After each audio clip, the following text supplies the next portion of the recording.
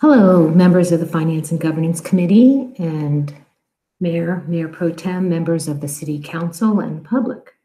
This is Donna Ventura, the Assistant Chief Financial Officer, and I'm here to present an item related to the city's uh, continuing efforts to strengthen our system of internal controls and infrastructure around those controls. The recommendation for the Finance and Governance Committee is to provide feedback on a proposed City Council policy for development and implementation of internal controls and recommend City Council approve the proposed policy. The recommendation for the City Council will be to approve the proposed policy. This is a fairly short item. I'm just going to do a brief uh, review of the nine policies associated with the Internal Control Integrated Framework, or ICIF. Several of these policies have already been previously approved by the council. And then I'll uh, provide an overview of the specific policy that we're presenting for adoption related to the development and implementation of internal controls.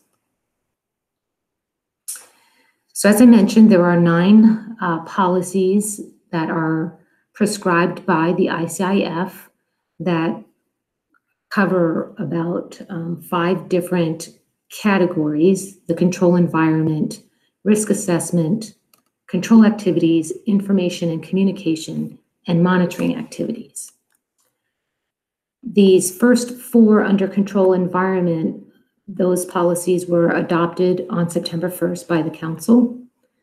The fifth policy related to performance evaluations was previously existing and in place, so no need to uh, propose a new policy there. And then on um, January 5th, just last month, the council adopted the risk assessment responsibilities policy. So today we'll be talking about the next policy in this um, proposed framework called Development and Implementation of Internal Controls. So this is an implementation, an implementing policy that is um, defining the council's activities as they relate to development and implementation of internal controls. It essentially is reaffirming the council's commitment to hold management accountable for establishing and putting in place appropriate control activities and monitoring compliance with those controls. So what are the activities um, that this policy defines for the council?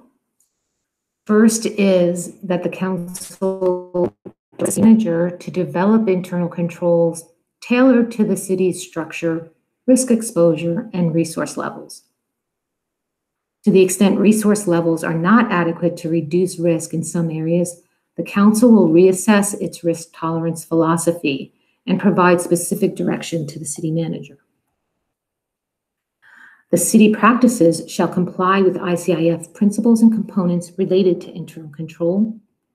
And lastly, controls shall be developed that respond to and assure compliance with findings from external and or internal audits and that consider the outcomes of risk assessments performed in accordance with the risk assessment policy that was just approved last month.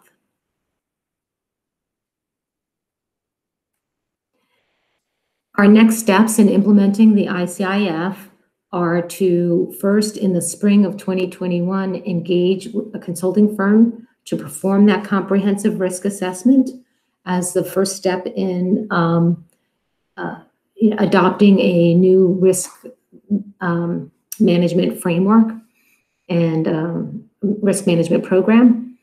And then for the remainder of 2021, we will be bringing the last two ICIF policies to the Finance and Governance Committee and to City Council. And those policies um, deal with information and communication and monitoring activities.